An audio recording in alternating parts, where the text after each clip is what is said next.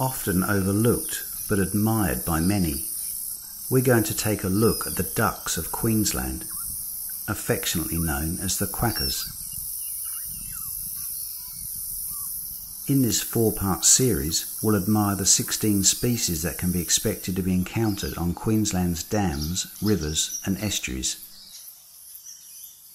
Some species are resident, whilst others are migratory. They come in all shapes, sizes, and plumage variations.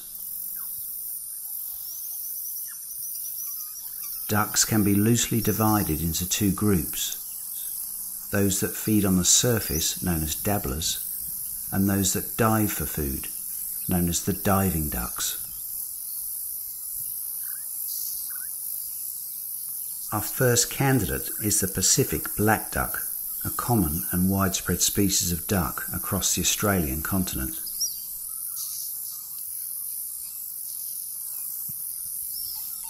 They can be observed in a wide variety of wetland habitats.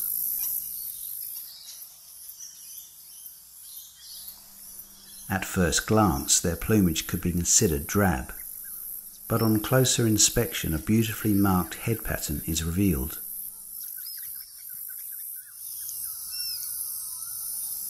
These are a dabbling duck, meaning that they either feed on the surface or just under the surface with a bottoms up, head and bill submerged method.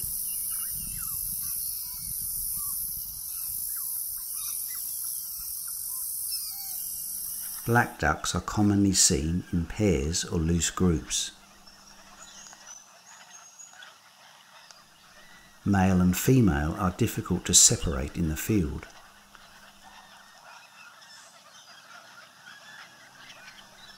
In good light, their iridescent wing speculum changes from blue to green.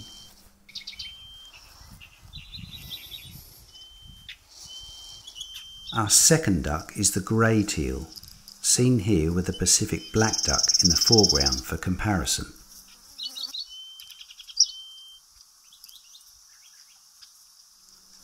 This is another widespread species that can be encountered on dams, lakes and rivers.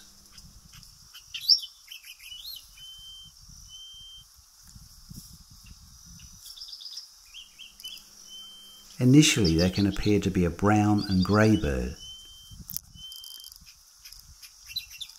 However, they have a beautifully marked plumage, especially on the flanks.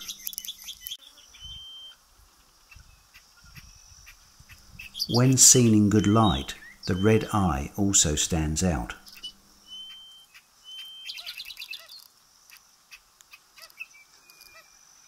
The grey teal is another dabbling duck and their method of feeding can be observed here. Their bills serve to filter invertebrates and larvae, but also small plant matter which supplements their diet. Seen here in more open water, a pair is feeding and bathing. Note the white wing bar along with the green speculum in the wing.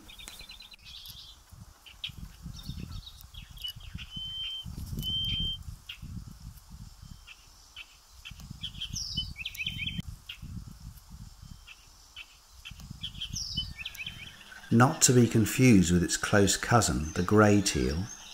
Our third Queensland duck is the chestnut teal. This species can be observed in freshwater, but are often seen in saltwater and estuaries.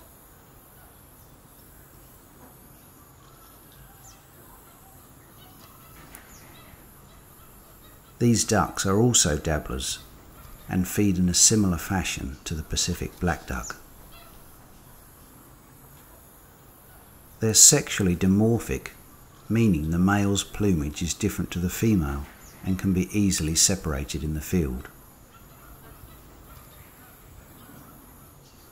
In breeding plumage, the male is quite handsome, with his iridescent green head and chestnut flanks.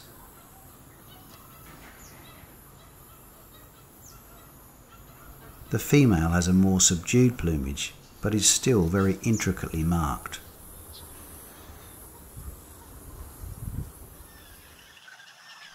To add further confusion, the chestnut teal, in common with other ducks, molts into a much duller plumage, which is known as a eclipse.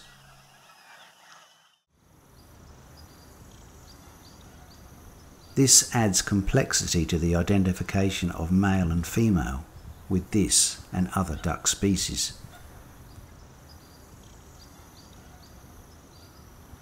Our last duck in part one of our series is the Australasian shoveler, an uncommon species in Queensland waters. They are mainly observed as a migrant in the cooler months. Once again, the males are more colourfully marked than the females.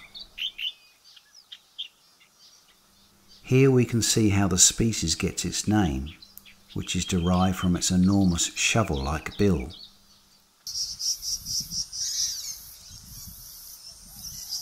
This is a diagnostic feature, even in silhouette or poor light.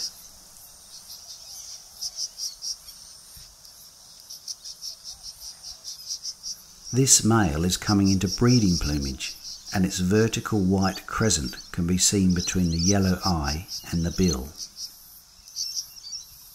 Other features include a light blue wing panel and orange legs.